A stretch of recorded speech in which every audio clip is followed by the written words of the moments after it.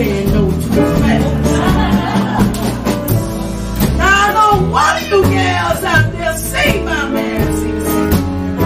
Cause I done seen that one right there with him the other night. Talking to you. Not you, I'm talking to her. But if you see my man CC, I want you to tell him this right here.